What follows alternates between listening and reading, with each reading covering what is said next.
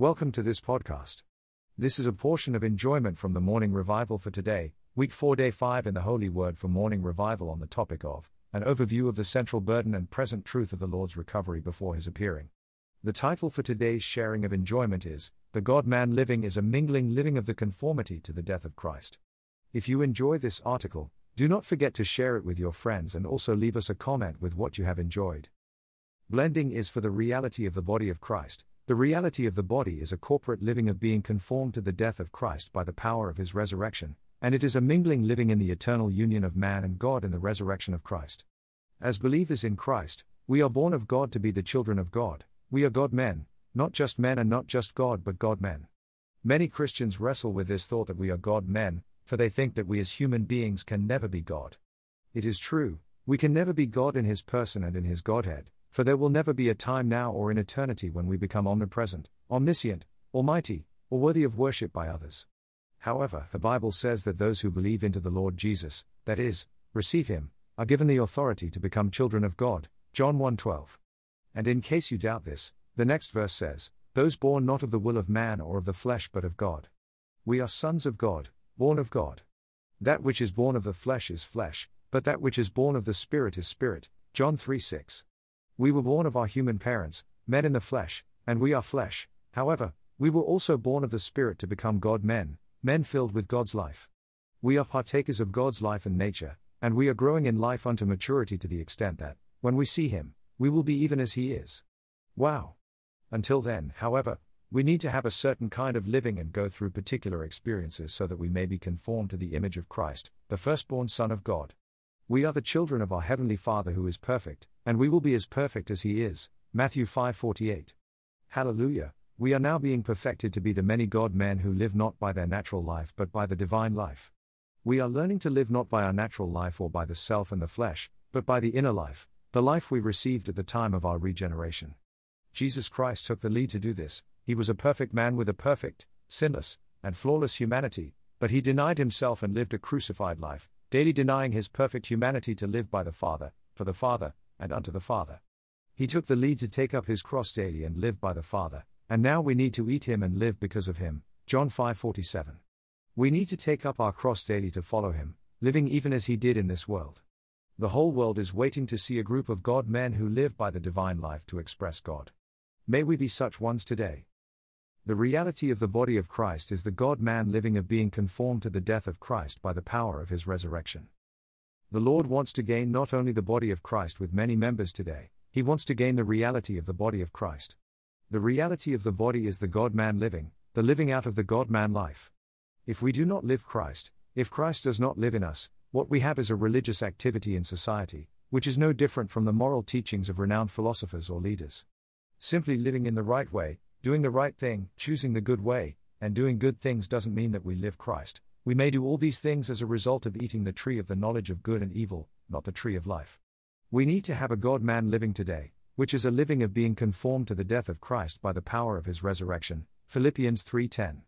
Like Paul, we need to know Christ and the power of his resurrection and the fellowship of his sufferings so that we may be conformed to his death.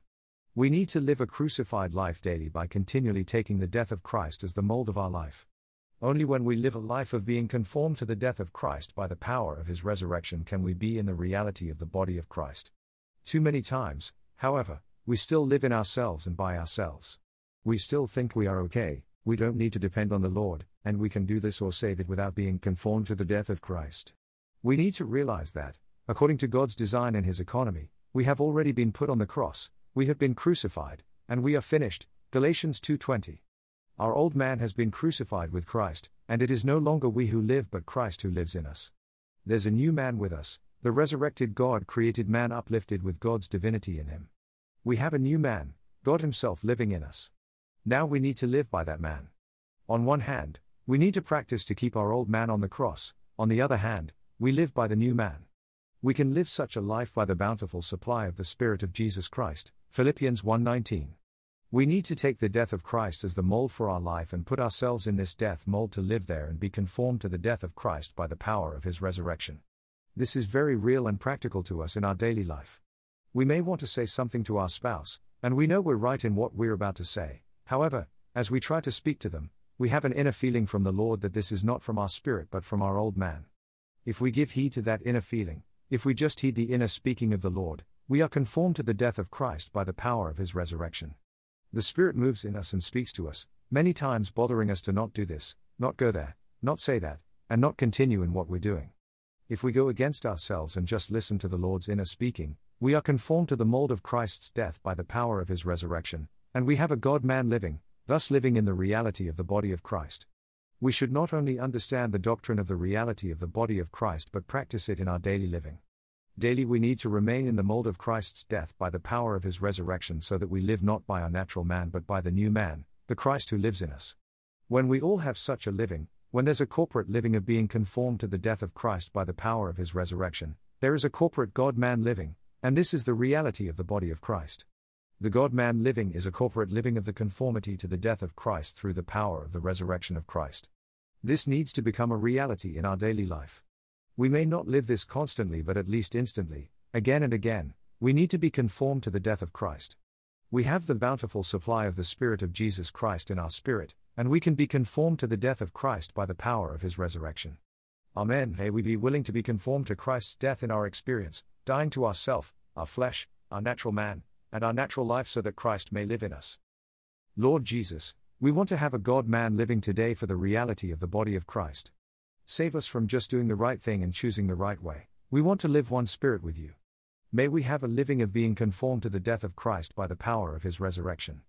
O Lord, make us those who live a crucified life continually by taking the death of Christ as the mold of our life. Amen.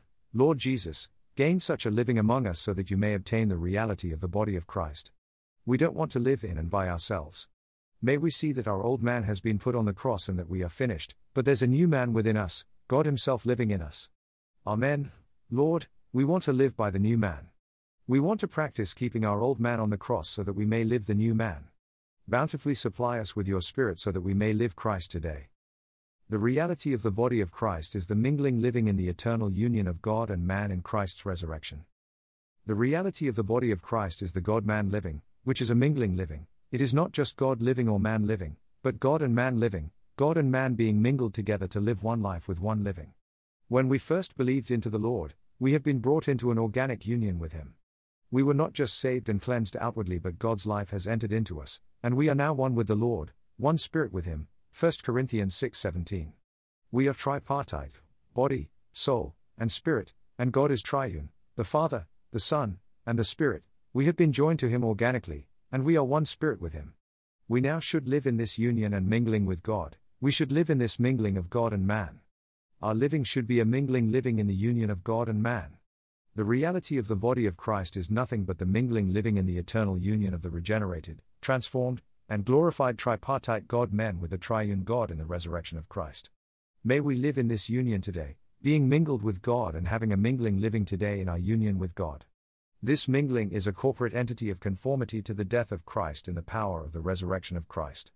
The Lord is blending us together with Himself and with the saints so that we may be conformed to the mold of Christ's death by the power of His resurrection. May we have a mingling living today, a living in the resurrection of Christ.